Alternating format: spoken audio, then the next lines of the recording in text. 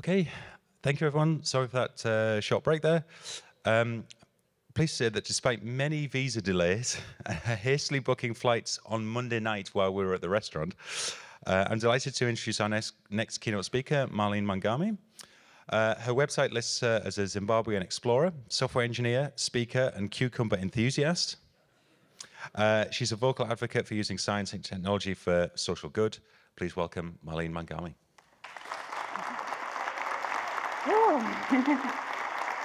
okay.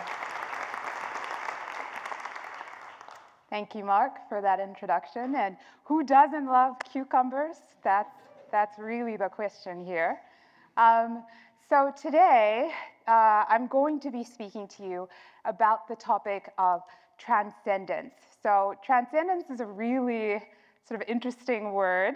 And I hope as I continue my, my talk today, you'll sort of understand why I decided to use that word when I'm talking about the power of representation. So before I get started, uh, Mark introduced me a little bit, but I, I, thought I would also give you a bit more of an introduction to me. So like Mark said, I'm from Harare, Zimbabwe, and I flew 17 hours uh, to get here uh, on Monday and, and just to make it for today, this one day of the conference, the last day. Uh, but very excited to be here. And for anyone that hasn't heard about Zimbabwe before, Zimbabwe is a country in the southern part of Africa. It is one of the many countries that was colonized by the British. So that's okay. Thank you very much to the British. But uh, that's fun. uh, I really enjoy living in Zimbabwe, and I've lived there for most of my life. I'm based there now. Uh, it's a very turbulent country to live in. We had some very high inflation rates a few years ago. If you ever heard of the trillion dollar note that was in Zimbabwe at some point.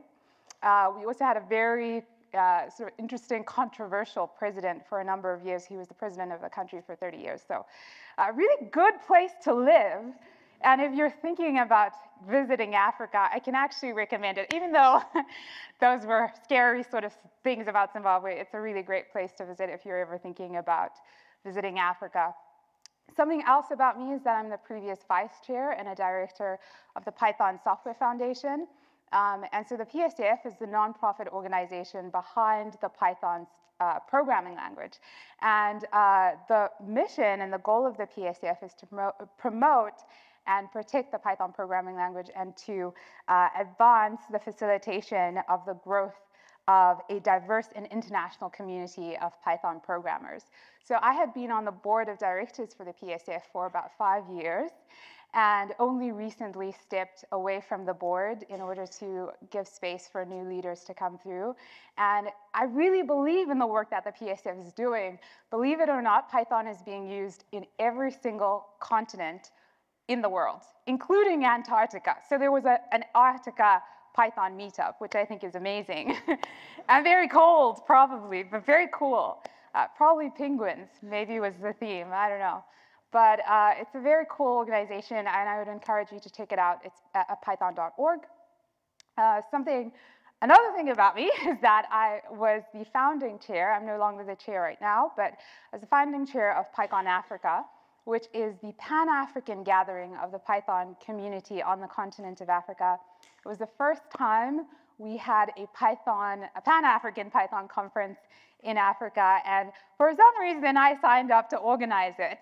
And um, I wouldn't recommend it, honestly, I would not recommend it. But the conference went very well, and we had so many different uh, Pythonistas coming together from across the continent of Africa. It was in Ghana. And uh, we haven't had it this past year because organizing a virtual conference in Africa is very difficult. Uh, but in 2023, we'll probably have the conference again in person. So if you're thinking about speaking again in Africa, feel free to follow PyCon Africa on Twitter.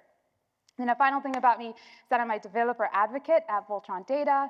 Um, so I talk a lot, I give a lot of talks right now on engineering. Before joining Voltron, I was a software engineer at NVIDIA.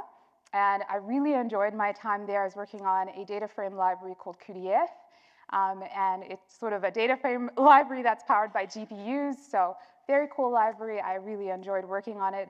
But I wanted to I think the reason why I decided to move on from that role was that I wanted to also experiment with communication. I really enjoy speaking, really enjoy writing, and uh, fortunately got the opportunity to be a developer advocate. So, so I keep my job. Feel free to follow Voltron Data uh, if you would like to promote my developer advocacy there, and they're voltrondata.com or voltrondata on Twitter. So getting into my talk now. Um, so this idea of transcendence, I think a good place to start with it is with sports, just to help us understand what transcendence means. So I'm just going to play a quick clip for us.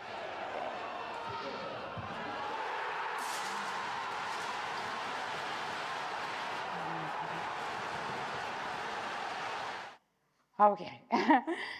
So that was a clip, a clip actually from the UK, and this is from a scene where people are watching soccer, and uh, you know, football is actually very popular across the world.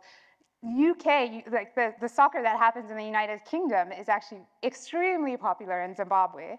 And this scene that we just saw on the screen uh, is not just a scene that I see here in the United, it's from TV obviously, but um, it's also something that I see in Zimbabwe as well. Lots of Newcastle supporters, lots of Chelsea supporters in Liverpool, uh, you know, things like that.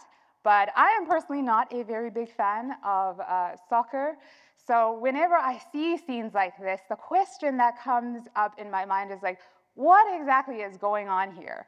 Like, why are these people acting so emotionally in this video clip? And I, you know, I sort of started to ask myself this question uh, over the years.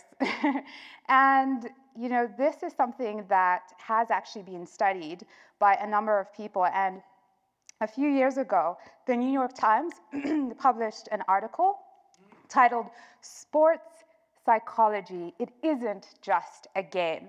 And so the researchers from this article found that many fans can become so tied to the teams that they're supporting that they actually experience hormonal surges at the same levels and psychological changes at the same levels that the athletes playing in the game do. So that's incredible to me. So this quote was actually from that article, and it's by a, guy, a professor called Robert Cialdini.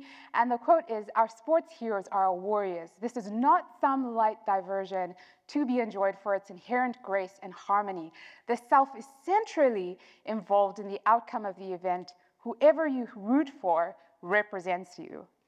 Another quote from this article was from uh, a researcher called James Dabbs, and he says the results suggest that fans empathize with the competitors to such a degree that they mentally project themselves into the game and experience the same hormonal surges the athletes do.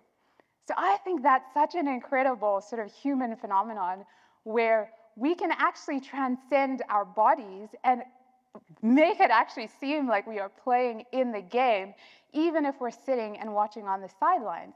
And it's just incredible to me that that happens. And when I was reflecting on this a bit more myself and ways that I've, I've personally experienced it, I thought a bit about this woman.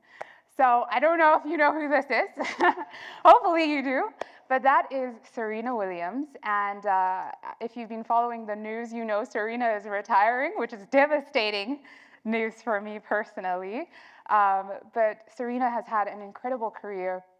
And uh, when I was growing up, my dad was actually very into tennis. And my family, I, I, I, clearly remember so many times growing up when my family would sit in the living room and we'd sit around a television and just watch Serena play. And I remember this one time she was playing at Wimbledon and it was the finals and I was so nervous for her. And it's like, I've never been to Wimbledon before in my life. You know, I'm, I'm an average tennis player at best. Um, but I was so, so engrossed in the game. And I remember uh, thinking to myself, whenever she won the game, there was like this surge of adrenaline that went through me. And I thought to myself, yes, you know, this is actually me. Like looking at Serena, I was like, you know, we're basically the same person. She looks exactly like me.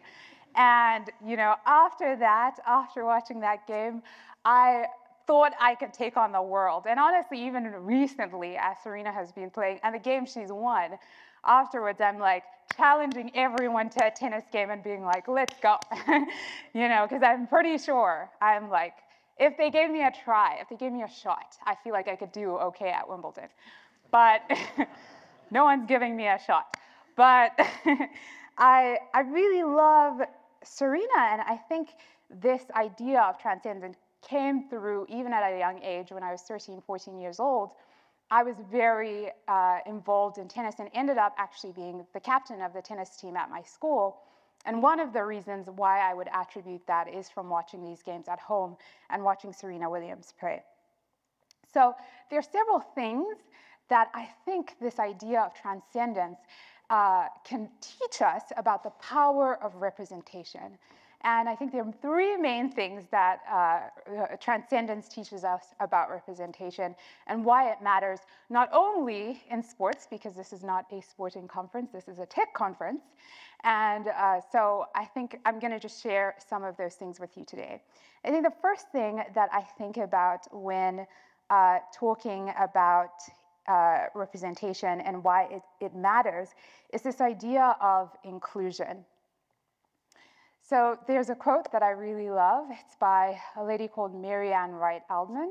And she says, You cannot become what you cannot see.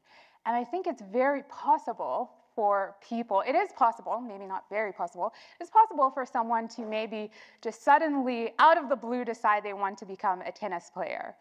But it's very hard to do that if they've never seen someone playing tennis. And even if they have seen someone playing tennis, it's very hard for them to imagine themselves doing it too if that person doesn't look like them at all. And I think, you know, one example of this is I did not know that, that uh, ice hockey was very popular. Do you, like ice hockey, the game where people play uh, hockey on ice. And I didn't realize that that was very popular until I met Canadians. And yeah, I don't, I don't even know what that means because I don't, I, I have never watched ice hockey before I met a Canadian person. And then I met this person who was so enthusiastic about ice hockey, but I was like, I have no idea what you're saying because it doesn't snow in Zimbabwe. There's no ice hockey rink, there's no ice rink in general. You know, I've never seen someone playing ice hockey in my entire life.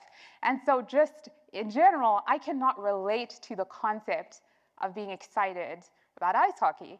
And so when we think about representation and when we think about inclusion, one of the major things that uh, I think is important and why we need um, sort of people who represent different demographics, whether that's women or different races or uh, different spheres, which I will talk about just now, um, I think it's so important to have those people in visible positions, in, in positions of leadership, so that we can have a representation at all levels.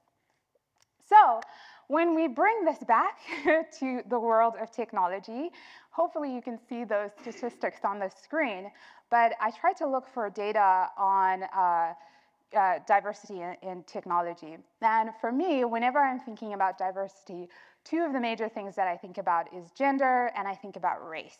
So if you're thinking about tech, one of the places, one of the things, the, the, the companies that you think of when you're thinking of uh, working at a global scale or at the highest possible level, you think about Google. Some, of, some people think about Google, maybe not everyone does. But uh, when we look at the statistics on people or Google's total workforce, which they have been sharing for a while now, I think even before 2014. But here we see on the statistics that in 2014, Google, 30% of Google's workforce were women, and 2% uh, of their workforce were, were black. Um, over the years, that has changed incrementally, and that's grown to 32% of their workforce being women and 4% uh, of their workforce being black. So actually, that's quite a significant jump for black people because that is uh, doubling their numbers there. However, when we take a little bit of a, a, closer perspective there and go back to that 2014, uh, those 2014 numbers, we saw that it was 30% uh, women and we saw 2% for black people. But if we actually take that down and look at tech specifically, we see that in 2014, there was actually 17% of Google's tech workforce were women and 1% of that tech workforce is black. So the, the likelihood of you meeting a black woman that works on tech at Google is very, very low. It's extremely low. And so for me, when I see these statistics, when I see these numbers, and even when I was first starting out in the world of tech, I was very discouraged because I knew that there was a lack of representation in the industry of people that look like me. And uh, th this can be very discouraging, even when we think back to the article that I talked about before in the New York Times, the researchers actually said that if you are watching your team and your team, the team that represents you, is playing in a game and they're losing, actually that starts to, for very impassionate fans, that starts to affect their self-esteem even out, outside of the game. And I know for myself, when I first got started in tech, I started, I was really, really insecure actually about my code. And I thought to myself, you know, if, you know, I'm in this industry, I'm trying to get into this industry, I actually had switched before I was in molecular biology and decided I was gonna be pre-medicine, but you know, being a doctor, you actually have to see blood often. Did not realize that until I was in pre-med and then it was like, it's not for me, sorry. Um, and then decided to switch into tech. And when I started, I was very, very uh, nervous about it because I thought to myself, if other people uh, that look like me can't make it in this, in this field, what makes me so special that I would be able to make it? And so very, very insecure uh, as I started my work in, uh, in tech. However, uh, you know, I don't think that this subject or this topic of representation is just about gender and race. I think it goes beyond that. And oftentimes when we think about diversity, we think about it, or when we think about just including people in, in our communities, we just think about demographics and we only think about, oh, how can I get more black people to attend the conference? Or how can I get more women to be part of my, my meetup? But actually, I love this quote, I think it's by a guy called Dare Obasanjo, and it's diversity is about demographics, inclusion is about a sense of belonging. And we need to feel like we can belong wherever we go. And I think one of the things that makes us extremely special, I think, as human beings, I'm not sure if animals can relate to this, but probably, but I don't know. um, but as human beings, one of the things that makes us special is that we have shared experiences that we can relate to, regardless of our race, regardless of your nationality, regardless of your gender. And I think in, specifically in tech, there are several ways that we can relate to each other and several ways that even if you don't look like me or you don't look like people uh, maybe from underrepresented groups or anything like that, that you can actually represent them or in some way reflect a part of uh, yourself in them. And, and I can see myself in you and you can see yourself in me. And uh, so there are two main things that I think over the years I've seen have been part of the shared experience. The first thing is learning something new. so everyone, I think, has gone through the process of learning something new. And I remember when I actually first joined NVIDIA, I was so nervous about setting up my laptop and, and setting up my work environment, and I hadn't used a GPU much before.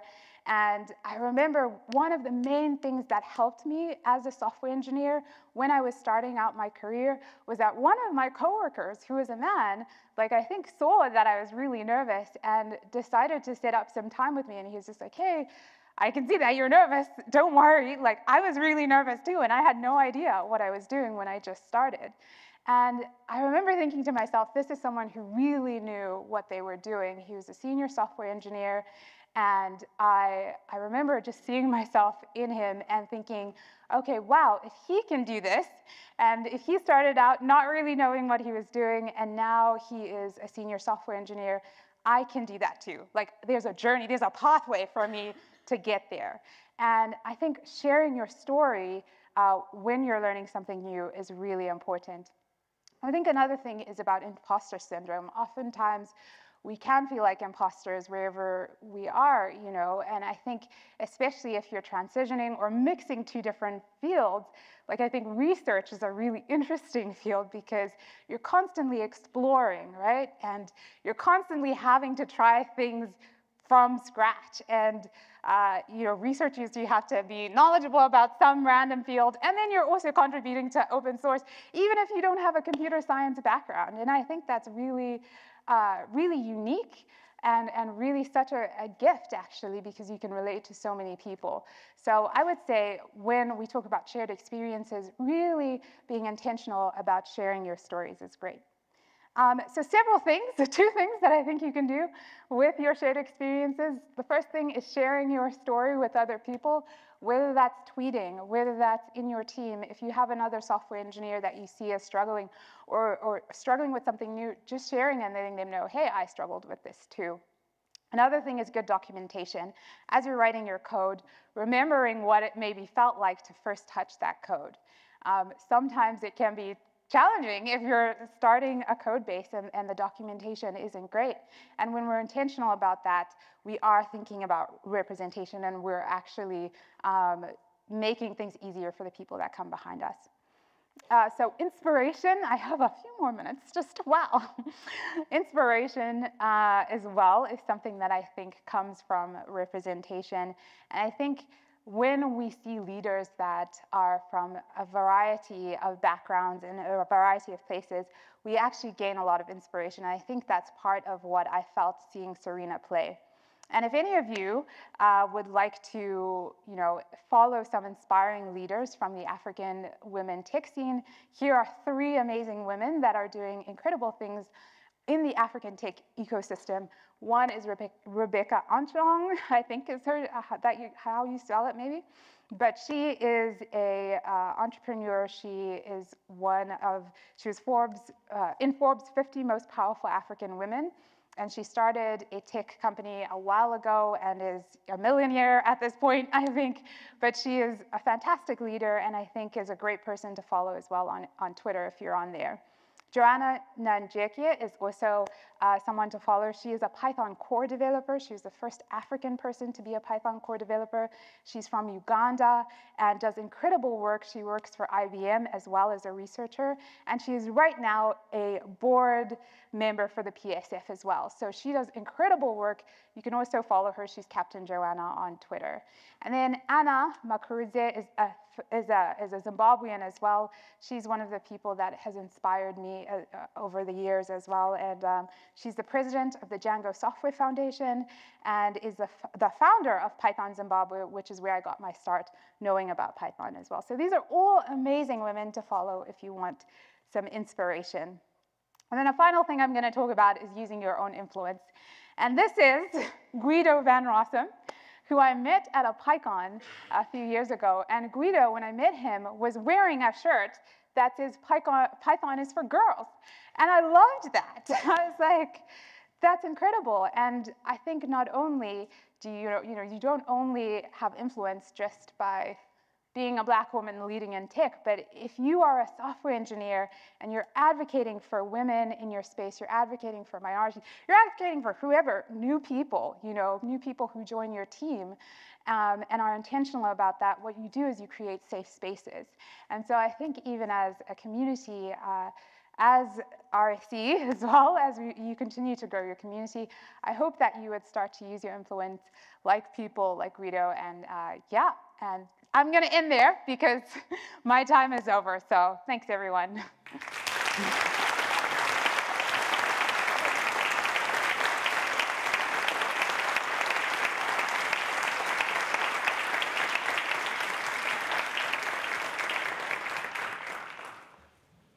The Slido is up on the screen. If anyone's got any um, questions for Marlene, then uh, now's a perfect time to ask away.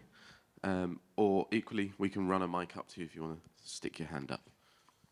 Thank you for that talk. That was fantastic. Um, so we have we have an RSE association in South Africa, right, um, but we should have it in many more countries as well. Do you think there's um, an appetite for for supporting research software engineers in, in, in Zimbabwe and maybe other countries?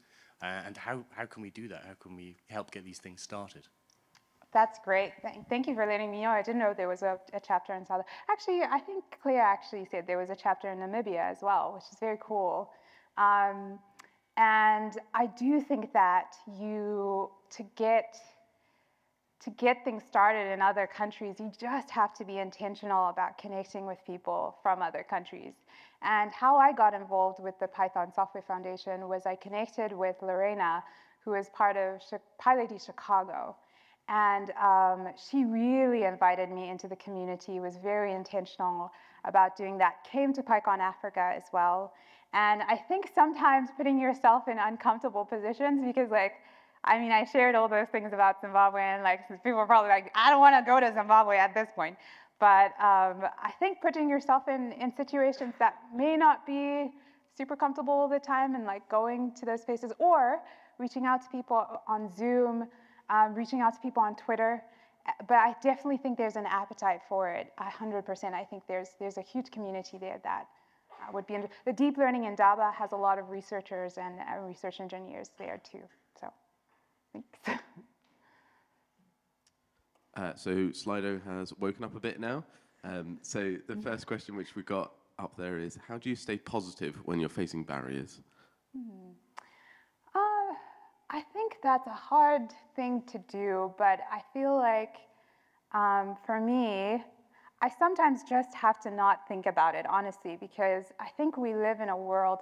One of the last things, if I had had time about it, uh, was I was going to talk about how I also had tried to start. I started this nonprofit organization for teaching girls code in Zimbabwe, and I just was surprised by how how systemic problems are and how systemic barriers are. It's not just about giving someone a laptop. It's not just about teaching someone Python. It's not just about one thing. It's a whole range of issues, right? And I think that you can really get discouraged if you look too much on the big picture, honestly. Sometimes I think you just need to keep going and uh, and then every now and then when you have energy, zoom out and look at the big picture and then try to work towards that. I think always recalibrating yourself to um, remember the big picture things, but sometimes also forgetting about them or else, I don't know. I don't know how you survive in, in this world with that, so. Um, so the next question we got up there is, what is the biggest challenge for research software engineers and software engineers in general in Zimbabwe? Um, I think it's probably think it's probably the economy, honestly, because the economy in Zimbabwe is still very, very bad and it's still very challenging. And I think software engineers still to this day are not paid a great wage. Um, I think people are really still struggling. And also just so even just getting people into research software engineering is very difficult because, I mean, becoming an academic in and of itself is very difficult because you have to have had the money to go through school or the scholarship to go through school, I guess, sometimes. And so that is, is quite difficult. And I think a lot of the issues are economic. Um, but I will say that that's getting a bit better because of remote work. So I work remotely and I have worked remotely for my entire career. And because of that, you can earn a great salary living in Zimbabwe. So I think remote work is kind of like solving this issue slowly. uh, so next up, uh, how can senior staff onboard juniors by admitting that everyone starts clueless without sounding patronizing? Oh, that's a great question. Uh, I think you just have to be, I think you just have to be authentic. And I think telling stories is really important. I think re remembering not to just say, okay, everyone is just clueless. So all of us are clueless. Just telling a story about yourself and being like, this is what I did, and I struggled with this, and I deleted the whole database here, and I did this, or whatever. But telling specific stories about what happened to you and, and making it relatable in the sense of telling stories, I think makes you more authentic, I would say. Yeah. Excellent. Yeah, I definitely wear my mistakes as uh, a badge of pride sometimes. Yeah. Uh, so next question is, do you worry that you're expected to perform diversity work and getting pulled from other commitments? Yeah, oof, yes, yes. Oh my gosh, yes. I, oof, when I started, uh, oh, I don't know if I should share that story. um, but I will just say that I think that I think that it's true. I think, I think that that's just something that sort of comes with where we are right now, where, and this is one thing that I will just, I will just say that yes, I do worry about that. And I have actually had to set boundaries for myself um, so that I'm not constantly pulled away from work to be doing diversity stuff when I want to maybe wor be working on engineering work, you know? And I do feel like as if you're leading a team or something like that, just be very cognizant of that, especially for people leading, leading teams, um, so that you do create spaces where people are not feeling like they have to do diversity work instead of their job, because that means they actually fall behind. And then they're not being promoted to senior software engineer because they've been doing diversity work and then now senior diversity chair or something like that. And that happens a lot, I think, so yeah. Um, so I think, yeah, there's a lot more questions up there, but uh, we'll have this was the last one, then we, we'll go for some coffee and cake, and I'm sure you'll be happy to talk more afterwards. Um, so do you have advice for uh, how to find out what the best way to reach out to an underrepresented community is when you have no representatives from it? Hmm. Yeah, I definitely think that, mm, I don't know, about reaching out Twitter is great right now, honestly. I think everyone's on Twitter. And if you're looking to reach out to specific, well, not everyone's on Twitter, but a good group of people are on Twitter. And I do think using your social media um, to reach out to people, and maybe if you wanted to reach out to specific demographics, um, there are some hashtags that, that do do that. So I know Black Tech Twitter has a hashtag. There are a number of other communities that have hashtags on Twitter. Twitter can be very dangerous. So even if you word that differently, you can get canceled. I, just, I don't know about Twitter all the time, but it's probably the most effective way, honestly, to, to reach out to people. So I would say social media is, is probably going to be the best bet there. Excellent. Thank you very much. Can we uh, have another round of applause?